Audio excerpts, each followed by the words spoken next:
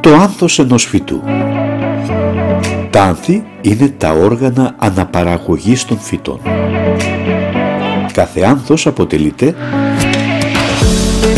από τον κάλικα με τα πέταλα, τη στεφάνη με τα πέταλα, τους τίμονες με τους ανθύρες και τον ύπερο.